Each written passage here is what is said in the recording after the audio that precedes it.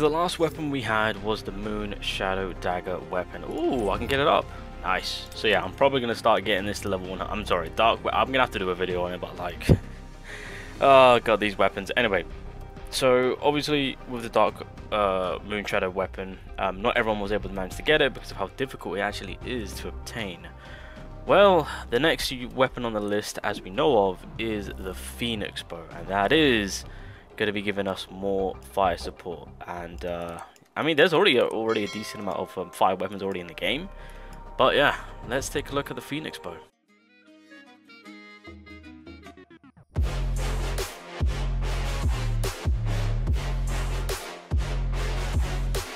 So here it is, shout out to Alpha, the fire weapon do we need? That's the big question.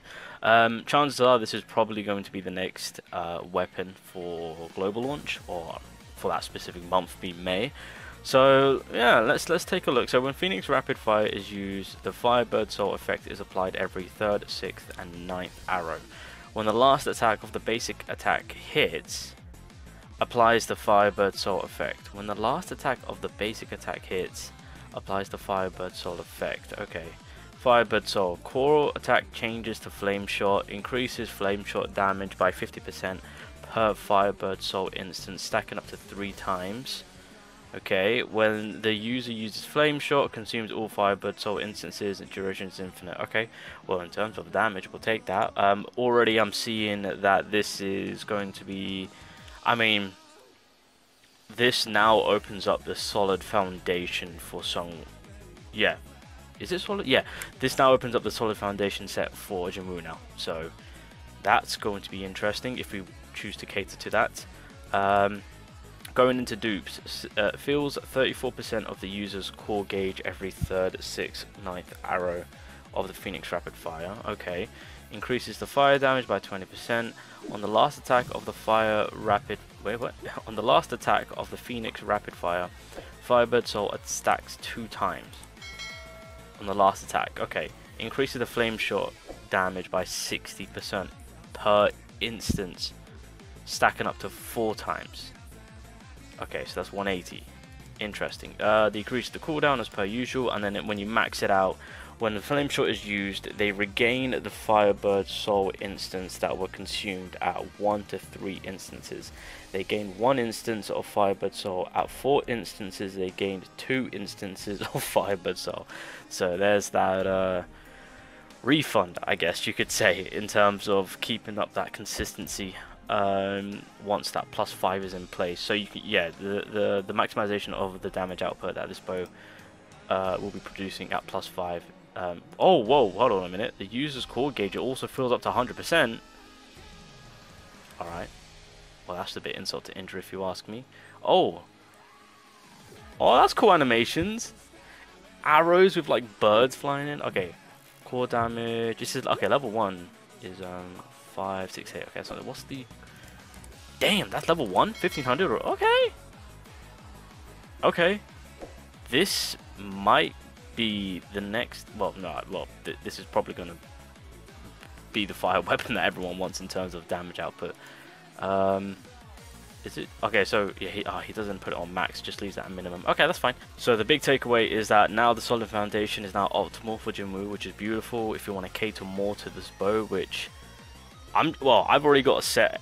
Well, I, I think the best thing to do is just have sets ahead of time, just kind of laying there, so that way if something like this happens, then we're kind of chilling. Thankfully, I've got two solid foundation sets already sitting there, so we are 100% going to be catering to this.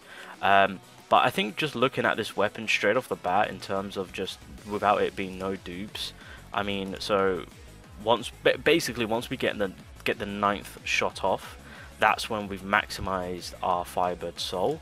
That will then lead into the core attack going into Flame Shot, which will then of course do increased damage and then per the Firebird souls that we have so we can stack up by three it's limiting us uh, by three so that's a total of an extra 150 150% right there. Once a flame shot is used, our souls will be reset because it consumes them, but by doing the 9 shots again, we get it back again, so that's kind of the cycle on, on, on, on the um, change up with the uh, flame shot, with our core attack changing up.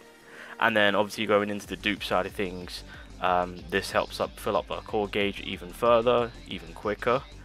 And then, yeah, every third, sixth, ninth arrow. Damn. Okay. That's good to know. So that this is just an added bonus now to our gauge. Okay. Um, so that's on the first dupe. And then furthermore, going into the third dupe. So then on our last, so whilst we're changing our core attack, getting the 150, um, in, uh, adding more to our core gauge because of the first dupe. The third dupe then allows us on the last strike, on the last attack of the Phoenix Rapid Fire, Firebird Soul stacks two times. So, plus four then, right? Plus four. Oh my god, okay, oh, and there it is. I didn't bother reading the second half. I am half asleep. So now, we're getting an extra 10%. We're now, our, our, stack has now gone up by one, so we're at four. So in total, we're now getting, rather than an extra 150, it's now becoming a 240 situation. oh my god. Um, yeah.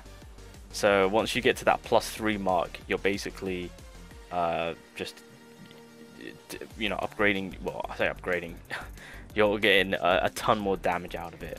Um, because that last stack just becomes a two slot. Yeah, damn. Okay, well that's insane. And then, okay, and then lastly, so this is where the, the consistency truly comes into place of just effectively um, stacking up your Firebird Soul. Realistically, right? I mean, could you go further beyond? If you have more? Because, um, yeah, so the Flame Shot is used, they regain Firebird Soul. So if you use 1 to 3 instances, they gain 1 instance of Firebird Soul back, right? And then at 4 instances, they gain 2 instances of Firebird Soul. So if I get two back, and then I'm firing off my shots, to then get my core attack changed into the flame shot, does that mean I've got more instances? Am I tripping? And because it's at 60 per instance, would it not just go higher? Right? Am I missing the plot here? Isn't that how, how it would work at that point? And then... oh, wait. Okay, yeah. So our core gauge will also fill to 100%. I forgot about that. Okay, well, that explains that. Alright, uh, bro, I need to... Why do I just blabber away and not, and not see the whole picture. Okay, well that kind of debunks that. Okay, fair enough. Um, but there we go. Wow. Yeah, so uh, um, it'll be interesting to see. Uh, but from the looks of it, I think what yeah. So plus plus two, you get the fire increased damage, which is standard. But plus three will allow you to do more damage, and then plus five will just bring out the consistency of just consistently being doing the amount of damage that you would do at plus three, basically. So realistically, um, maximizing the damage would be at plus three minimum, if, if, if that's what you're wanting from this weapon solely. If you get into the plus five side of things, then um, having that consistent damage output from this Phoenix bow, which is going to be a ton, just FYI, um, it's going to be there. It's going to be there.